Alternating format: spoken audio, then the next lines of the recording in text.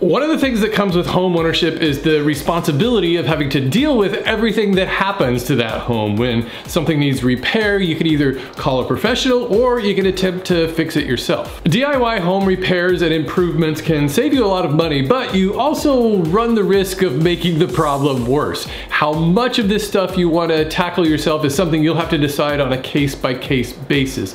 Start with projects that aren't emergency repairs. But no matter your experience with DIY home projects, there are seven tools I believe every homeowner should have right from the start. These are versatile tools that you can use for all kinds of projects. Just get them all at once and save yourself the hassle of having to make multiple trips to the home center. For this list, I'm not including tools that you'll inevitably pick up as needed for specific projects you decide to tackle, say a caulking gun if you want to install a sink or replace baseboards or like a hacksaw for cutting through pipes. And even though this is a woodworking channel, I'm not including woodworking specific tools. Got it? I'll include links to all these tools down in the description. The only power tool on my list is a drill, or better yet, a drill and an impact driver. These are often sold as a pair. The impact driver is used for driving and removing screws. It works much better for this than a drill. A drill is used mostly for, surprise, drilling holes.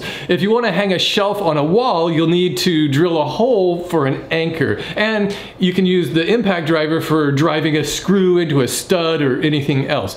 Be sure to check out my video on drill and driver basics. Along with these, get a set of drill and driver bits. Large sets are pretty inexpensive. In addition to drill bits, make sure it has an assortment of driver bits, Phillips tips, star tips, hex tips, even sockets. You may be surprised how often you'll need a wrench to tighten up a bolt or a nut. I recommend a complete set of combination wrenches.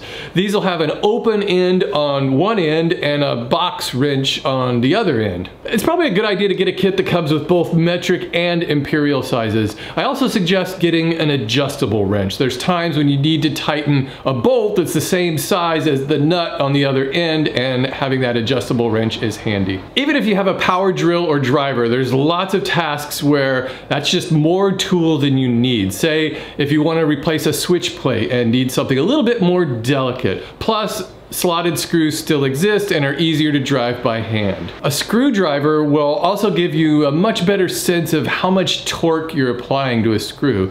If you just need to tighten up a loose screw on, say, a cabinet, That'll prevent you from over tightening it or even stripping the threads that you might do with a drill. Like with the wrenches, you can get an assortment of screwdrivers pretty inexpensively. You can also get these kinds of multi-purpose screwdrivers that let you use the same driver bits that you use in your drill or impact driver. There's just no way around it. You're gonna need a hammer. Use it for hanging pictures on the wall, tapping things into position, or even demolishing things. A 16 ounce hammer is good for just about everything There are lots of times when you're gonna need to get a firm grip on something and there are all kinds of pliers to help. I suggest getting a slip joint plier and a needle nosed plier. The slip joint is kind of a general purpose plier used for lots of tasks. Maybe you need to remove a rusty fastener from a fence and a needle nose plier is great for holding anything tiny and you'll use it for some electrical work. I also recommend getting one of these sliding channel locks. These are great great for grasping large bolts, fasteners, or even removing tight lids. You can get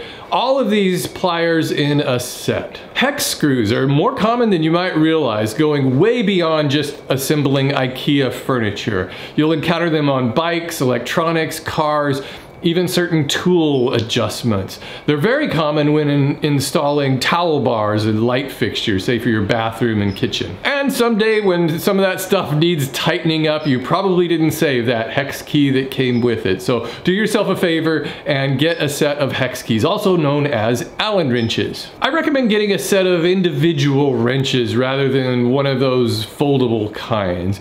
You can get more torque with them and they'll fit into tighter spaces. You probably already have have a tape measure, but if you just moved from an apartment into your first home, you're gonna be surprised at how often you just need to measure stuff.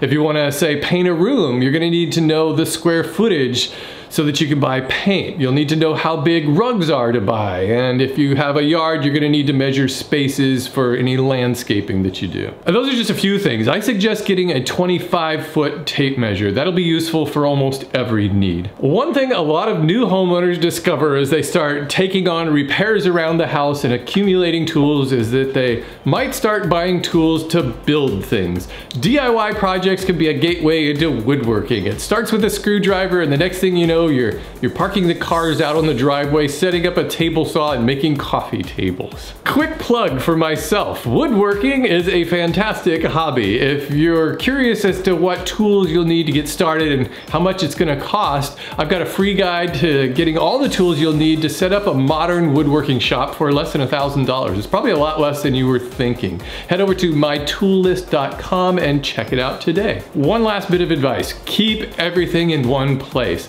That could be a dedicated space in the garage or a toolbox. Tools have a tendency to wander off if they don't have homes. Thanks for watching.